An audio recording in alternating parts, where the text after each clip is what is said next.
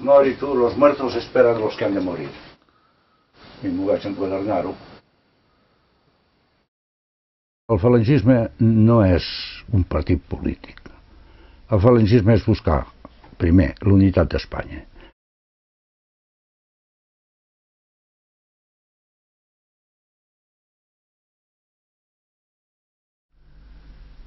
Vaig néixer a Zumar, a la província de Guipúzcoa, 14 d'agost del 1918, quan allò de la grip espanyola. I, diu que em van criar amb llet de, de vaca i va anar bé perquè la, meva mare també estava malalta de grip. Eh, els meus pares eh, ens varen portar a Catalunya perquè varen dir que aquí el que treballava es guanyava la vida i era efectivament. Eh, aquí a Catalunya era com a tot arreu, havies de patir o no patir, però i paties igual tu que els catalans. Eh? Però si treballaves i t'espavilaves et podies guanyar la vida.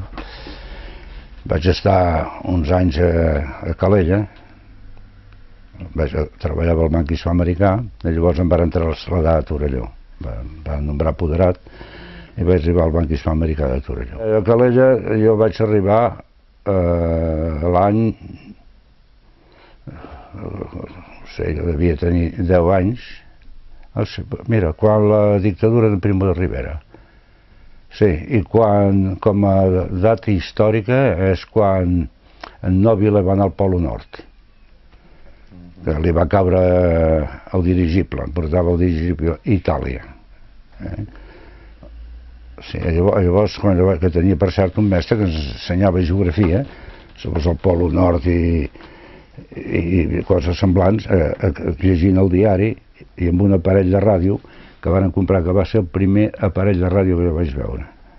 Eh? Com més tard vaig veure també quan va arribar al cine, al cine sonora.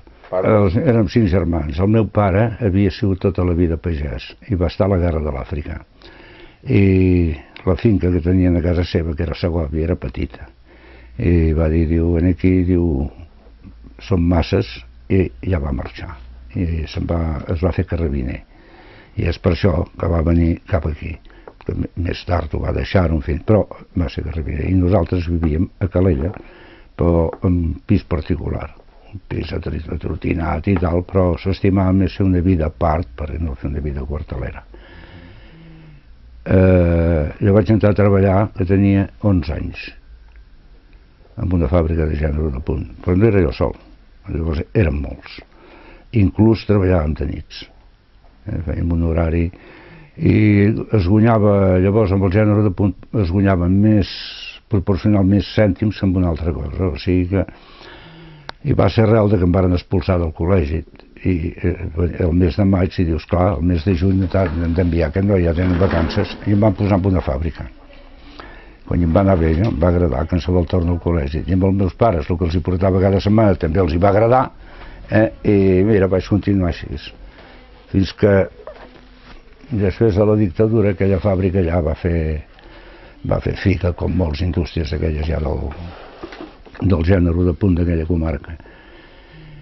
I me'n vaig anar per allà a la platja a ajudar pescadors el que sigui, i com que el meu germà el segon estudiava per Escolapi del Banc Urquijo van demanar a veure si tenia trobaria un per botones i em diuen mira enviarem el germà d'aquell o sigui, van enxufar eh? perquè esclar, jo no tenia cap preparació per entrar en un banc i vaig entrar-hi que tenia 3 anys i ja vaig continuar al banc fins que em van traslladar a Torelló. A Calella, a la fàbrica, vaig conèixer, vaig, estava molt entre anarquistes. bueno, més que anarquistes, senatistes, però el CNT i la...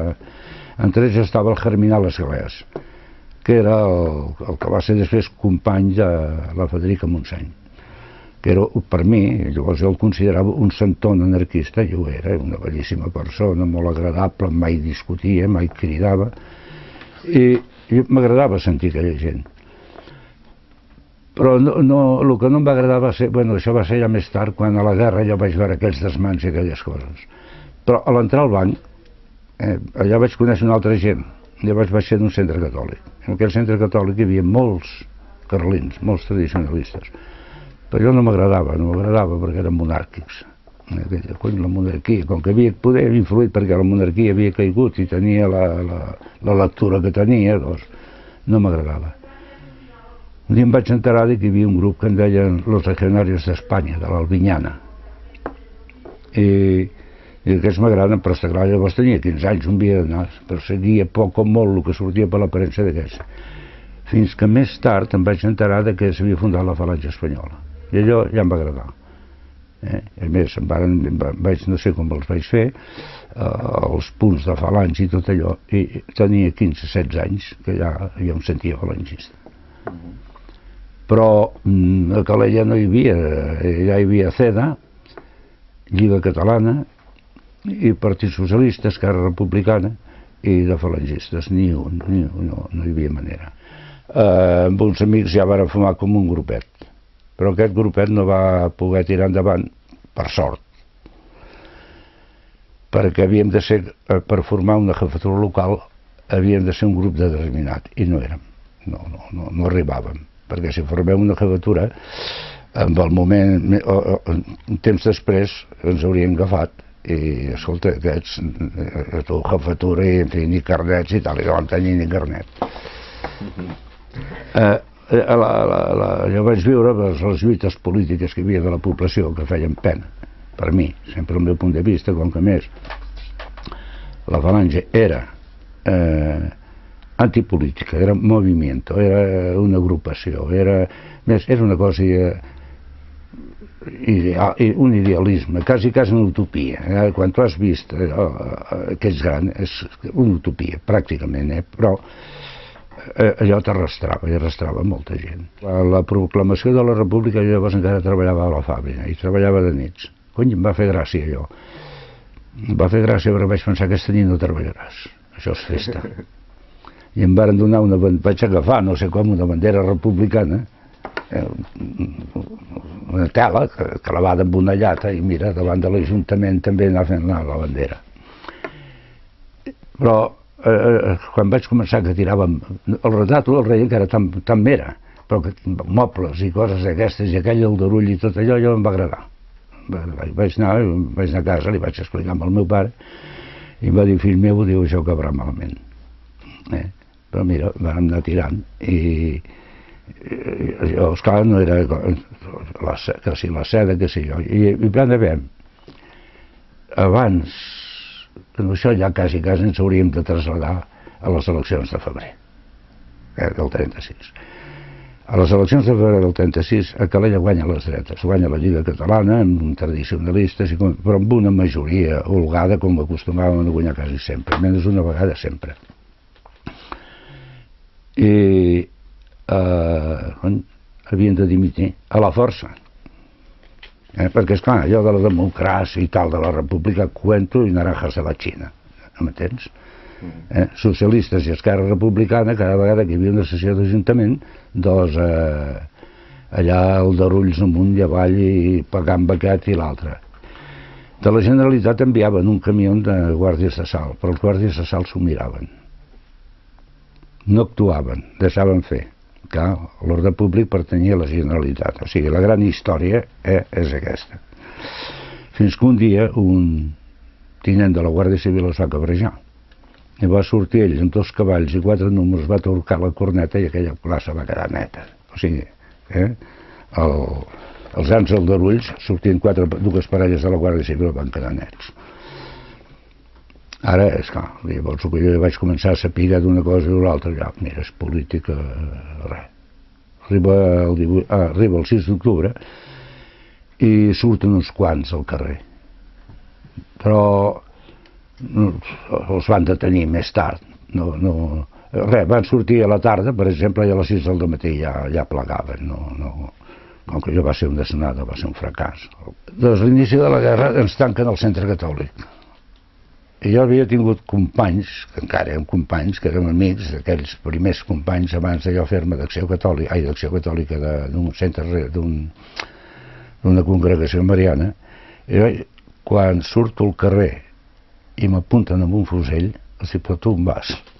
Saps? Llavors és quan tu dius, bueno, què, què està passant aquí? Eh? I llavors varen començar uh, passejos, eh, a mi no em van detenir, van detenir un company íntim meu i cony, perquè la detenen amb aquell geminó i és que a germinar les que com que havia conegut a la fàbrica va dir que no el toqueu. No, no, no, si a més som cadalla que teníem nosaltres 18 anys llavors. La cosa va tirant, nosaltres vàrem formar un grup perquè això de la quinta columna hi ha molta fantasia. La quinta columna era tots els que estaven contra el règim. Ara, una quinta columna activa era molt minoritària, eren quatre que feien espionatge, que tenien ocasió de fer espionatge, eren quatre que podien fer sabotatge. Els altres, xerrar, grupets, comentar, criticar, eh, eh en fi, eh, però, i fins que eh, van per mobilitzar la nostra quinta i fèiem instrucció al camp de futbol, la quinta del 39 i 40. Llavors jo devia tenir, encara no havia fet els 19 anys. I jo xerrava una mica bé llavors, però no, el, Bo, el Bòrnia, el país dels seus. I els de la CNT, esclar, estaven de punta amb els de Negrín. Eh? I jo clar, acabava d'emmaranyar la cosa. I em deien el comissari Eh, i, clar, llavors van haver uns tios que se'n van endonar. Eh, van anar i em van denunciar, ens van denunciar i ens van, ens van tancar. Amb una comissaria. Vaig tenir la sort. És que ja hi havia... És clar, tot això encara és per esverinar. Hi havia el grup d'aquest d'en Grimau, en Grimau, aquí a Barcelona, tenia la, la seva xeca entre altres coses, afavoria gent que passessin a l'Espanya nacional però els tenien pel camí. Eh, per una cosa, no, la, ho feia de tal manera que no es pogués descobrir. I de tant en tant en deixaven anar algun, que el deixaven passar la frontera, perquè ella donava la consigna a l'Espanya nacional digué que havia arribat bé. I està clar, això era amb una fluidesa d'Espanya. Jo això me'n vaig enterar més tard, eh, estant ja a la, a la presó. Eh? I un dels que estava posat en aquest grup va, no era un de sol, però un dels que va fer més era un de Calella, que, que va entrar al cos de seguretat. I en lloc de portar-nos... Ah, després hi havia uns, uns de Calella que eren guàrdies de salt, que aquests són els que van intervenir amb la nostra cosa. És clar, no ens van dur a la xeca directament, no ens van dur amb el CIM. Eh? Ens van dur a comissaries. Declaracions tal, judici, surt aquell aquell president que dic del Tribunal d'Espionatge i Alta Traïció de Catalunya, que era, era un fantasma allò, i ens condena de mort.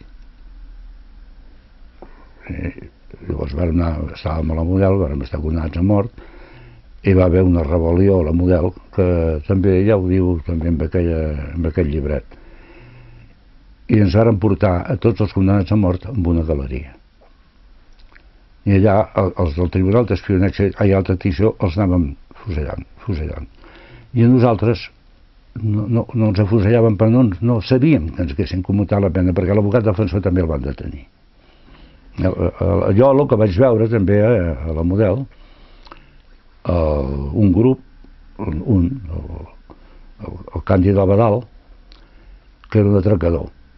Eh, després aquí amb, el, amb els llibres aquests de, Soler Sabatés i Villarrolla el posen com no, amb aquest, no, amb aquest li van fer justícia com a l'Argentino i tots aquests aquest és un tio formidable a mi em varen incomunicar al Palau de Justícia i em posen en una celda que hi havia dos atracadors no, tios de 18 anys tu, i amb aquells atracadors amb una fama de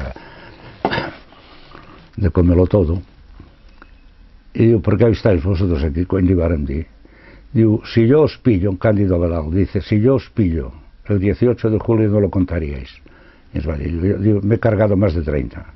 Aquest era dels quadres d'acció de la FAI. Aquest era un bèstia posat a dintre de la FAI. Era un bèstia. I aquest és el que ens va començar a, aconsellar. Negueu tot, no heu fet res, digueu que la policia us ha pagat, o sigui, a mi em van pagar per quatre bufetades, quatre bufetades, vull dir que no, a mi no em van cremar les ungles ni em van res, no, vaig caure en una comissaria i llavors no vaig caure en mans del cim, vaig tenir aquesta sort. Eh? Bueno, cau la bomba i mira, el van condenar mort. Va tenir la serenitat de saltar la tanca de la model, perquè hi va un pànic de por, de sentar a la tanca de la model i caure fora, en un camp, però es va trencar la cama i llavors encara el varen poder, es va tornar a refer la guàrdia, el van tirotejar i bueno, després el van fusellar. En aquell temps vaig ser l'únic que vaig entrar a la cel de, a la primera, que era de les dos presos de la CDT arrel del 6 de maig que havien detingut i cementeros clandestinos i tot allò que es deia, bueno, que es deia que havia passat que els cementiris clandestins tampoc eren tan clandestins. Fins que el mes de juliol quan esclata la, quan comença la, la batalla de l'Ebre ens envien a camps de treball. I llavors sí, donem de que nosaltres ens hem commutat la pena de, de mort eh, per, ja, i llegim el diari El Treball per 70 anys. El retall no el guardo el havia guardat molts anys i se'n va extraviar I, però total van ser 30 anys eh, va quedar a última hora per 30 anys. I vaig estar a camps de treball doncs, fent trinxeres a la segona línia de fortificacions. I els camps de treball, el nostre, que era l'últim, el número 6, l'últim que es va formar, va ser el més benigne. Perquè aquí havien intervingut ja mm, inclús les potències estrangeres, perquè allò dels camps de treball en riu tant dels camps nazis. Eh? Perquè, esclar, aquí s'ha de saber i s'han de dir, en riu tant. Clar, els camps nazis era molt més gros i molta més gent eh? i tal i després eh, els camps nazis encara s'ha d'aclarir exacte, exacte tot com va anar. O els camps russos, que és el mateix. Doncs mira, nosaltres ens llevàvem quan sortia el sol, ens donaven un caso de, o dos casos d'un cafè que no era cafè, que era xicori o... En fi, tenia color de cafè i un susquet petit i a treballar fins a migdia. A migdia ens donaven un, un plat que hi havia quatre cigrons d'aquells que venien de, de Mèxic, la, la meitat porcats, algun tros d'os que sobrava, no, l'os no sobrava, alguna pallaringa sí que sobrava, eh? i fins que seia fosc. Eh? I, amb un, I maltractats, maltractats. El, el tracte amb el nostre encara era mm, bastant humà, perquè era per un... El jefe era un cabo de la Guàrdia Civil que havia sigut convertit en Guàrdia Nacional. I aquell home respectava. I fins a la retirada ja no es va matar ningú. Nosaltres aquí vam anar a Falset. A Falset ens van bombardejar que van morir per cert els guàrdies que vigilaven va, la concentració que hi havia el, el d'això, la bodega aquella, aquella a Falset. Després amb camions ens van dur a Cabassers i a Cabassers, que és el Priorat allà vàrem estar fortificant. Van van tenir por de que per allà és una ofensiva i tal, ens van portar a Arbeca. A Arbeca allà van fortificar les voreres del canal i fent uns, uns refugis a sota terra i, i de més. I quan la cosa ja també es va posar malament ens van dur a Cabó, per allà a Organyà. Eh? I a Organyà allà va començar els freds i allà, allà se'ns van morir els, uns presos i des de eh, Organyà es va, des d'Organyà, des de Cabó vàrem anar retirant per tota la línia aquella de la Seu d'Urgell cap a Puigcerdà ens paràvem en algun poble feien una mica de trinxera per allò de la retirada i vàrem, ens varen dur eh, tot caminant això, a Urx aquí a sota de, de Puigcerdà allà també vàrem estar algun dia amunt i avall eh, a la Molina a la Molina vàrem estar uns dies traient neu de la collada per facilitar la retirada, perquè, esclar, la retirada va ser, va ser terrible.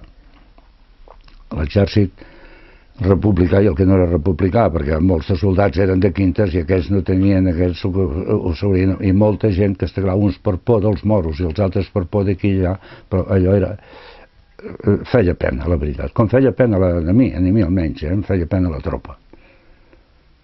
Eh, clar, a mi va, jo vaig veure un cas eh, està a Arbeca. Nosaltres ens duien a, a treballar eh, cada dia al matí i tal. I una nit, quan tornem, sent uns soldats amb juerga que feien ball i alegria, la gent jove, el que passa, tropa. I vaig pensar que ells són desgraciat, aquí pres, mira aquests nois. Sí. Però al cap de dos dies hi va haver la batalla de, una batalla al Segre i van enviar tota aquella gent. I aquella alegria era només veure camions, però amuntonats a dintre morts. O sigui, els que estaven alegres el dia abans, o dos dies abans, els, la molt, una quantitat, no tots, que eren de cavalleria, per cert. I està clar, això tu penses i dius, que hasta la, to, també rep la tropa, eh, vull dir, i també passa gana la tropa, i també passa rep la tropa, eh, i, o sigui que això, i amb la retirada em va passar igual, eh, jo vaig veure, veies aquells, un desastre, la guerra era un desastre. Ens porten a França, i llavors anem a l'Espanya Nacional, eh, per Irun, entrem per Irun, i a mi em porten amb un hospital, que per cert la rebuda de l'hospital el que manava a l'hospital era un coronel de sanitat que m'ho va dir tot, bueno, a mi i amb altres, de rojo per arriba i de rojo per abajo, eh, perquè inclús ja vaig plorar, vaig dir, però quan, escolta, amb el que tu estàs passant, ja has passat, que et vingui ara aquest senyor i et digui això, llavors va venir una monja i em va dir, diu, mira, perdona, diu que fa Ara, la guerra s'estava acabant i li ha mort un fill que, que estava al front i aquest home, la que veu un que ve de l'altra banda, ja és rojo separatista i tal, i vaig pensar. I vaig estar fumudàs. I d'aquell hospital, quan vaig sortir, me'n vaig anar amb una bandera de falange a la tercera de Càceres. I quan em vaig incorporar al front es va acabar la guerra. O sigui que no vaig tirar un tiro. Tota la guerra jo no puc dir que hagi mort a ningú, eh? ni, ni per casualitat doncs mira, vàrem estar, anàvem per allà a Extremadura, però estàvem a la Sibèria Estrevella, que em deia que jo era cap misèria, allò era terrible. Allò quan veies, esclar, llavors encara et senties més revolucionari, eh, dintre del teu estil, del falangisme aquell, més quan veies com es vivia encara a Extremadura perquè aquí a Catalunya no es veia. Les urdes eren les urdes, però és que la Sibèria Extremenya, darrere del Duc, Ciruela, eh, la Puebla del Coder i tot allò era molt més gran vaig i veies les noies joves de 30 i pico d'anys amb un mocador al cap, i veies un home que pertanyia a un hort a dalt amb Tissarrà, i veies aquells camps grandiosos eh, d'amapoles i de i, i, i d'una herba, era, perquè és preciós Extremadura la primavera, saps? I allò encara et feia sentir, i venir, deies allò de la, de la reforma agrària. I ja vaig veure, vaig veure la, però, lo, prim, lo, que es va començar a fer una reforma agrària amb la república un fracàs rotund, perquè era desorganització, perquè la reforma agrària no es pot fer regalant terres. La reforma agrària ha de ser una planificació, eh, havia de ser una planificació. Això va ser el 39. No vaig arribar, doncs mira, la guerra es va acabar el primer d'abril, a últims de març.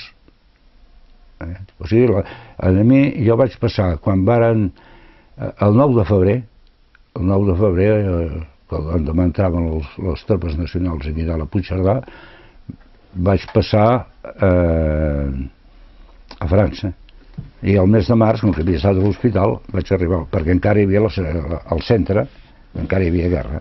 I jo, conyo, pegar tiros, escolta, la guerra, clar, els anys, no? I, i, i, o sigui, això és l'acabament meu de la guerra. I de llavors vàrem anar dos puestos, per exemple, ens va, la bandera la van enviar a Zamora, perquè es deia hi havia miners d'Astúria que s'havien echado al monte i el maquis, diguéssim.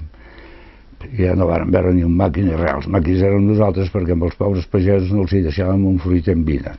Eh? No entens? Era una vida molt, molt maca i molt sossegada de campanya, però, però sense donar el cop. Llavors van el mes de setembre, que hi ha coses que la gent també ignora el mes de setembre en Franco diu que s'han acabat les milícies. I, I jo, quan sóc gran, reconec que tenia tota la raó. Diu, oh, és que es va carregar la falaja, se l'havia de carregar. Eh, no per, podia, què? per què no podia existir una milícia a part de l'exèrcit? Eh? I llavors crea l'exèrcit, que podem dir, l'exèrcit de Franco per mi comença llavors. Perquè fins a llavors, allà, en banderes de falange hi ha 70.000 tios i quasi 40.000 repetès. O sigui, el d'aquí de voluntariat amb el d'allà no té punt de comparació. Va ser una cosa terrible. Va, seduïts, per què també? Seduïts per molta cosa i per, el, per, per la veu de José Antonio, que és el, el que mou tot això, i, i la victòria. Perquè, és clar, guanyes una batalla, en guanyes una altra, i guanyes una altra. Eh? Llavors estic dos o tres anys a Medina del Campo. Van agregar sanitat, allà vaig estar molt bé, i torno a casa a l'any 42. Llavors, al cap de pocs dies em criden a la Guàrdia Civil con orden de detención y traslado a, a Anclares de Oca, al penal aquell. Cony, doncs què ha passat? Diu, por desertor. i uns professors. Eh, mira, de Sant Sebastià, en la caixa de reclutes, que no, no volia presentar, si jo estava a Barcelona a la presó. Eh, bueno, llavors ja van deixar. I resulta que, bueno, abans ve lo de la divisió blava. Ja, ja començo a treballar al banc i tal. I em proposen per delegat al Front de Joventuts. Allò sí, em seduïa, m'agradava. I no, abans, no, abans amb un permís que arribo jo a Calella, ja la, la OGE, l'Organització Juvenil, estava, ja, ja es havia acabat, allò de la banda de cornetes i tambors, eh, per acompanyar les autoritats a missa i aquelles coses, ja, ja, ja, i els fusellets, aquells tipus italià, balilles italià, jo ja s'havia anat per terra i allà no quedava res, quedava un esquelet d'organització. I jo amb un grup de, de bailets que encara eh, sentien, organitzàvem els dies que jo estava allà a algun campament a la Costa Brava, que llavors era verge, no, no hi havia... I un dia, tornant del campament, passant pel passeig de Calella, de Calella sentim que en Serrano Sunyer diu Rússia és culpable. Cony, apuntam-s'hi tots, anirem a Rússia. I de Calella, allà una colla, de 14 o 15, tots a Rússia. I jo marxo, tenia el permís, sense acabar i quan arribo al regiment diuen tu ara per la guàrdia se t'ha acabat el destí que tens perquè d'aquest regiment ens ha marxat la meitat Clar, era un regiment format per una bandera de falange i un terç de recaders o sigui, gent més aviat voluntària. I aquests tots a pegar tiros a Rússia i t'ha acabat. I vaig estar una tempo... fins que ja el, el director de l'hospital em va anar reclamant i em va dir tu no et mous d'aquí. I quan podia anar a Rússia els de Calella n'hi van de 10 perquè per un per la família, l'altre per aquí, l'altre per allà van anar, i a més, altres massa joves. El meu germà, per exemple, tenia 17 anys, que allí va anar, i un altre encara no els havia fet, que ell va morir-hi. Eh? O sigui que Calella, proporcionalment, jo no crec que a tot Espanya hi hagi un poble, que llavors tindria 5.000 habitants, Calella, no ho sé, n'hi van de 10. Van morir dos i vaig organitzar el Front de Joventuts, vaig estar treballant amb el Front de Joventuts, llavors em van nombrar delegat comarcal, em cuidava des d'Arenys fins a Tordera, però eh, Alemanya perd la guerra, Alemanya va perdre la guerra i aquí, esclar, políticament han d'evolucionar, eh? ja entre el general Jordana, el ministre d'Assumptes Exteriors, i, i, i, en fi, i jo ja les podia tirar endavant. Eh? O sigui, el Front de Joventuts, per mi, per mi, eh, jo, va durar més temps, eh? però ideològicament mor llavors. Eh? Mor quan Alemanya està perdent la guerra. I nosaltres vàrem procurar, i som armar-nos, perquè havien quedat moltes armes abandonades durant la, de la guerra. Eh, amb, amb una jefatura de falange hi havia quatre fusells, amb un altre lloc hi havia 12 i tal. I això ara armar. No, veiem què passa, tu, un canvi de truita aquí a morir matando. Eh? No, no, no et queda cap més remei. Però varen, varen fer un polvorín, per cert, amb el pati de la casa que jo vivia, però van fer el sota terra, i no la van arreglar poc bé, i un dia, que vàrem dir, veiem com està allò, tota la munició, les bombes de mà i tot, rovellat, i bueno, ho vam haver de carregar amb una barca i anar-ho a tirar al mar. O sigui que l'armament se m'ha de fer punyetes.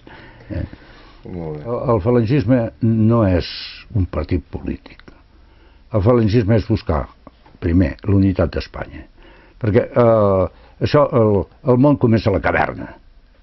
Eh? I la unitat, la unitat, la unitat, i ara ja tenim la unitat d'Europa, o sigui, hi ha moltes coses. El nacionalisme espanyol, avui, no. Tu pots estimar Espanya, i pots estimar Catalunya, i pots estimar Torelló, i vas estimant tu tot. És el que em passa de mi. Eh, jo potser l'estranger no els estimo tant, em va agradar molt París perquè és un lloc que he anat. Poder si hagués voltat molt per l'estranger em sentiria més europeista. Eh? El que va també per sentir-te els interessos creats, el capitalisme i el capitalisme aquest liberal, aquesta porqueria. Eh, eh, llavors no, era, era una cosa no, i que anava molt, el falangisme, als treballadors, sobretot la justícia social saps? I això com seria perquè jo tenia una pela, eh, que també la sentia, perquè això també influeix, eh?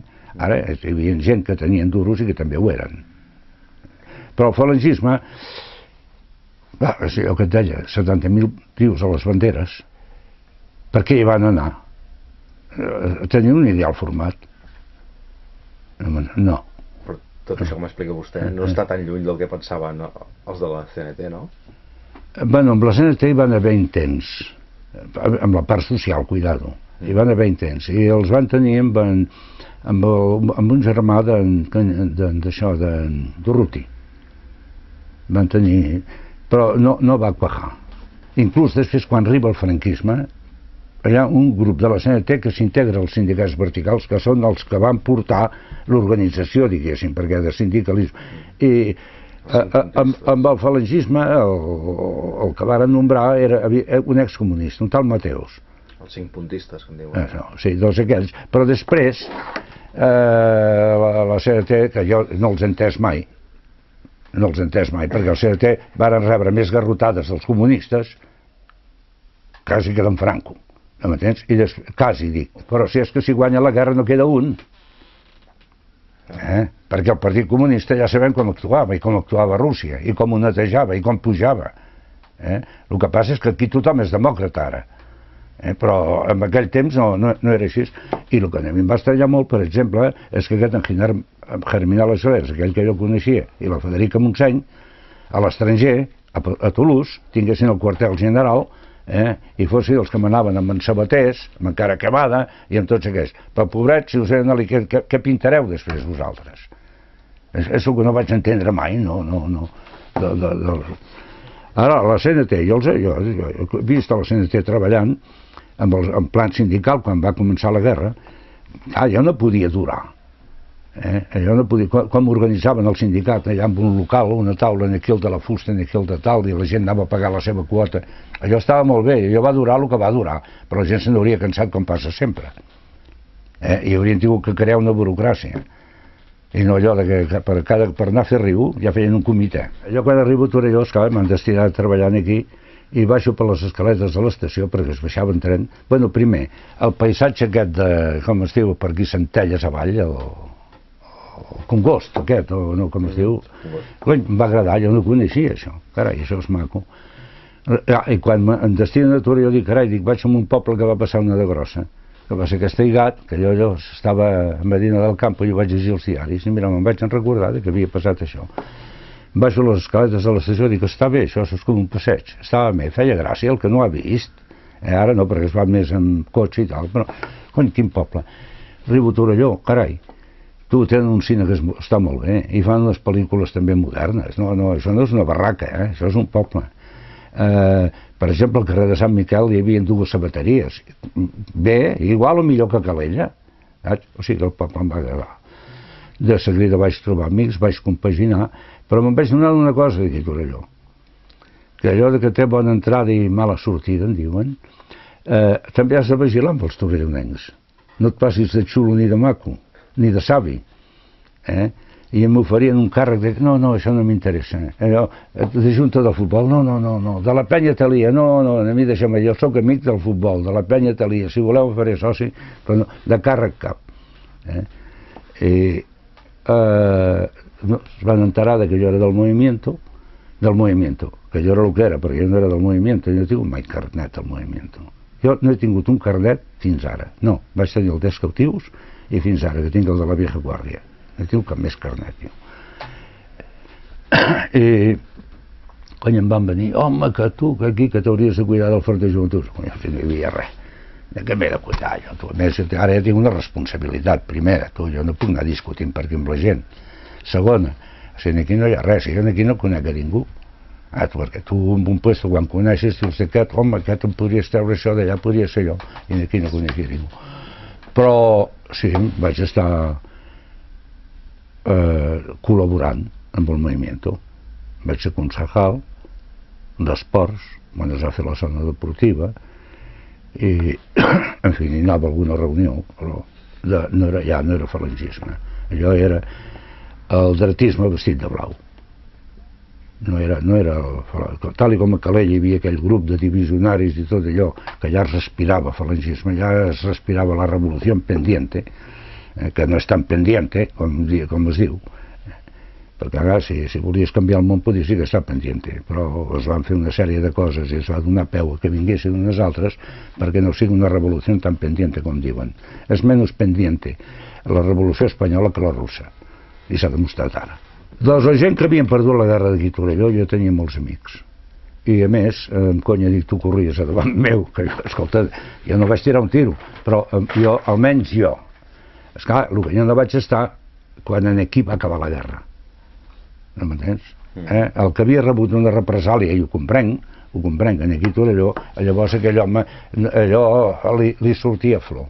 Però jo, això no, això a mi no, no em va passar. O sigui, jo no ho havia viscut. Mm -hmm. El poble, durant molts anys, va ser poble, i el poble ballava sardanes, i el poble es divertia, i això no era un cementiri. Aquí el que passa és que aquí política es havia acabat no m'entens? I el que volia respirar en política l'enganxaven i el portaven a la, a la, a la VI, aquella, brigada d'investigació. Aquí hi va haver algun roce, eh, roce entre, entre gent d'acció catòlica i, i gent de, del moviment, eh, per cosetes d'aquestes, saps? No, no, això no. La, la, el plan cultural havia de ser l'oficial. Eh, no, no, no, no cal dir-ho. Mm. Ara que aquí quan jo l'any 47. Ah, jo vaig arribar al 47. Quan jo vaig arribar aquí al 47 era de conya, perquè els bars de Torelló el dissabte, del temps bo, omplien, perquè les places aquelles s'omplia de gent a ballar sardanes, eh? Parlant d'això del falangisme i de, i de que si un és, és anticatalà. Tinc dues anècdotes. Jo estava a la bandera de falange a dalt de a la província de Zamora, allà per Sanàbria, que allò és preciós. I llavors, vida de campanya, menjàvem quatre, aquells plats d'alumini i tal. I, un dia se'ns se acosta un que va arribar a ser governador d'una província, un tinent provisional. Diu, ja no estoy hasta los cojones de oír el chau chau. Chau chau era parlar català. Y dice, no quiero ver a cuatro catalanes juntos a l'endemà els mateixos patim, patam, patim, patam diu, ¿qué dije yo ayer? digo, mi teniente, digo, yo soy vasco este es catalán y esos dos son valencianos madre que te parió va fotre, va fotre el camp llavors m'envien em van seleccionar per anar a la casa militar d'en Franco quan es va formar després de la guerra per l'alçada i tal i igual i aquest em va tatxar diu, no és de fiar Després una altra vegada em va, em va passar una altra a Madrid. A Madrid em va passar una molt bona. Eh, M'escriuen i diu, tu, estava en un... Ah, bé, perquè vaig estar en un hospital a Madrid després de d'això de la bandera, vaig estar en un hospital a Madrid, a dos hospitals vaig estar, que vaig... Si la guerra dura 15 dies més, empresonat em moro. I eh, llavors ja estava bé. Com m'havien vacunat eh, la, la vacuna aquesta que es posa al braç, i em van dir, diu, ah, teníem el metro, el tramvia gratis i podíem anar als cines. El cony ferit de guerra, saps? un mocadoràs així, i, i allò no se'm curava mai. M'hi posava fulles de... de què era allò? Deure. Cony no se'm curava mai. I no se'm cura, cony no em donava l'alta. I vaig passar uns dies a Madrid de conya marinera per allà. Tot gratis, sense un ral a la butxaca, i m'escriu una casa i em diu, saps qui està a Madrid? Diu, fulano de tal, un amic meu de la joventut, un tal Benet. I em diu, està en un batalló de treballadors, Ui, me'n vaig cap allà. Vaig al batalló de treballadors i vestia igual que allò, vestia igual que allò. El que ell portava un barret rodó, jo el portava aquí, o sigui, tots dos vestíem bastant malament. I demano permís perquè surti amb mi. Diu, sí, sí, ves vostè. I això, a passejar per Madrid, es veu que no tenien feina aquell batalló de treballadors aquells dies. I un dia anava més lloc de Calella, tu parlant català, eh? i s'acosta un per darrere i diu «Usted no le da vergüenza, un falangista», perquè portava la camisa blava per aquí així, diu «con un preso hablando catalán», i li dic «¿y usted quién cojones es?» Digo, soy un oficial del ejército y a usted le voy a meter un paquete. Digo, usted es un paisano, hombre. No, vestit de paisà. I dona la casualitat que hi havia un quartel per allà davant. Diu, vamos a ese cuerpo de guàrdia. Guarda, perquè hi havia molts quartels d'unitats per aquelles unitats per allà, i anem cap allà, i ell li explica això. I jo li dic amb l'oficial de guàrdia, diu, ¿cómo pensaba José Antonio de Cataluña? Y aquel oficial de guardia le dijo, tú, vete por ahí a ponerte el uniforme y no me jodas a estos chicos y vosotros marcharos. Ah, tens, però vull dir que allò, un t'has de treure la cara a la trec, jo no... A mi hi ha coses que em sobren, però hi ha coses que tampoc me les toquin, la veritat, saps? Eh? Anècdotes aquestes, sí, són maques.